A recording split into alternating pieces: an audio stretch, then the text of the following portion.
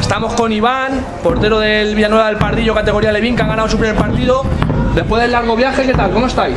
un poquito cansados, pero bien, porque nos gusta el fútbol, entonces nos gusta disfrutarlo, ¿A qué hemos venido al torneo? a disfrutarlo, a, a intentar ganar, pero sobre todo a divertirnos. Después de un largo viaje, ¿cuántas horas han sido?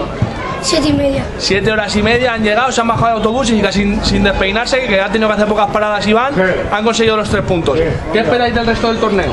Pues esperamos ganar y que nos tocan equipos muy difíciles, a ver si les conseguimos ganar ¿Contra quién os gustaría jugar una hipotética final?